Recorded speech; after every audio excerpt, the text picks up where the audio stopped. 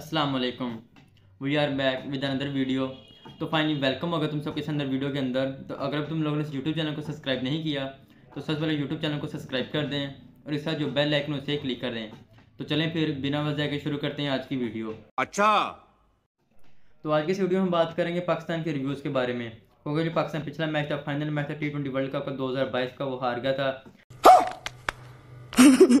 जिसकी बिना पर जो क्रिकेट लवर थे काफ़ी अपसेट थे।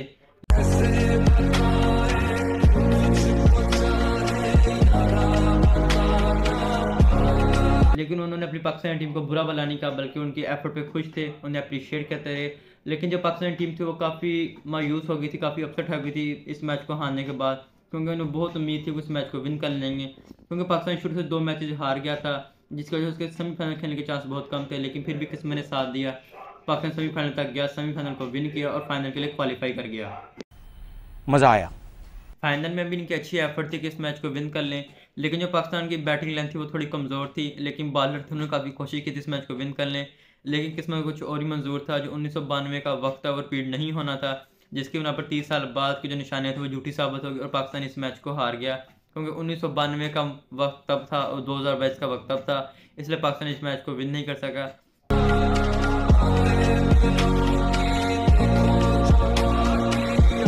पाकिस्तानी टीम जब मैच वगैरह को हारी उसके बाद ऑस्ट्रेलिया से अपने वतन वापस पाकिस्तान आए तो लोग बहुत ही पुरजोश थे।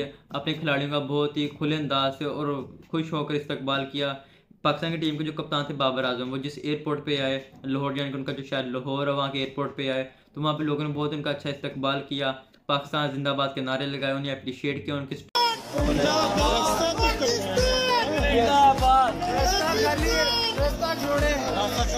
रमीज भाई कितने मुतमिन है पाकिस्तान टीम की परफॉर्मेंस है? फाइनल में खेले जीतना। इतना दूर रह गया जीतने। स्ट्रगल थी उस पर हैप्पी थे कि हाँ पाकिस्तान ने कोशिश तो की स्ट्रगल तो की। जो इंडिया वाले थे वो तो फाइनल में भी ना खेल सके। क्योंकि कुछ लोगों को कहा ही नहीं होती कि फाइनल खेलें या ना खेलें। पाकिस्तान इस लेवल का था तो उसने फाइनल खेला। फाइनल में तो दो टीमें थीं। दोनों में से किसी एक ने जीतना था और किसी एक ने हारना था। इंग्लैंड वो टीम थी जो इस मैच को विन कर गई। पाकिस्तान वो टीम थी जिस मैच को हार गई। लेकिन तब भी पाकिस्तान की जो पब्लिक है, उन्होंने अपनी पाकिस्तान टीम की हौसला अफजाई की, उन्हें अप्रिशिएट किया। वो जिस जिस एयरपोर्ट पर आए, पाकिस्तानी टीम के, लाहौर, कराची, फैसलाबाद, पेशावर, हर एयरपोर्ट पर उनका अच्छा इस्तेबाल किया, उन्हें अप्रिशिएट किया। उनकी स्ट्रगल पे अप्रिशिएट करते रहे और अपनी पाकिस्तानी टीम का हौसला अफजाई करते रहे, ताकि वो आइंदा मैच खेलें, काफ़ी अच्छे मैच अंदाज से खेलें, अपनी पाकिस्तानी पब्लिक के लिए खेलें, उस मैच को विन करने के लिए खेलें।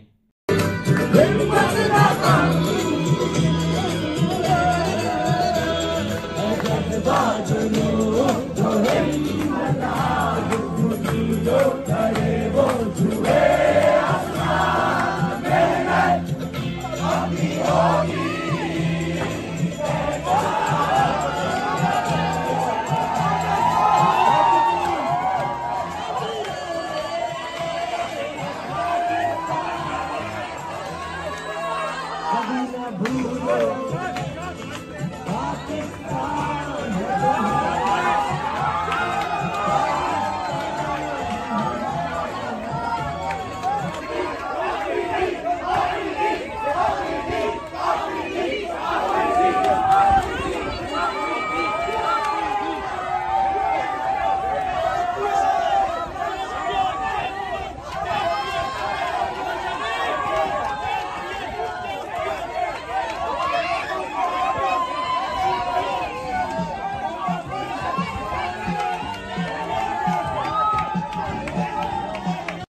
एयरपोर्ट पर सब अपने फेवरेट प्लेयर के साथ सेल्फियाँ लेते रहे, उनसे ऑटोग्राफ लेते रहे और उनकी हौसला अफजाई करते रहे। और होना भी ऐसे चाहिए, क्योंकि अगर दो टीमें खेल रही हैं तो उनमें से एक टीम फ़र्ज़ करें, उसने तो हार नहीं हारना है और दूसरी टीम ने विन करना ही है। तो ये नहीं होना चाहिए कि अगर आपकी टीम हार जाए तो आप उस टीम को बुला बुला के, बल्कि उनकी हौसला अफजाई करनी चाहिए, ताकि मैंने जो भी मैच खेले, उसको विन कर सके। क्योंकि हर टीम की ख्वाहिश होती है इस मैच को विन करें। कोई टीम भी जानबूझ के नहीं हारती, बल्कि हर टीम की ख्वाहिश होती है अपने मैच को विन करें, अपने मुल्क का नाम रोशन करें। और अपने जो क्रिकेट लवर हैं जिनको चाहने वाले हैं, उनको खुश कर सकें। पाकिस्तान की टीम को यही उम्मीद थी उस मैच को विन कर लेंगे और 2022 में वर्ल्ड कप का अपने नाम कर लेंगे, लेकिन ऐसा नहीं हो सका। पाकिस्तान हार गया। लेकिन उसके बावजूद पाकिस्तान के जो चाहने वाले थे, पाकिस्तानी क्रिकेट को जो चाहने वाले थे, उनके जो लवर थे, वो फिर भी उनसे प्यार, मोहब्बत का इजहार करते रहे।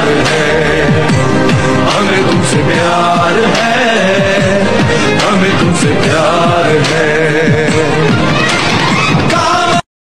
भाई लोग, यहाँ मैं इस वीडियो को कर रहा हूँ एंड ज़्यादा से ज़्यादा इस वीडियो को लाइक और यूट्यूब चैनल को सब्सक्राइब करना मत भूलिएगा। इंशाल्लाह मिलते हैं टिल नेक्स्ट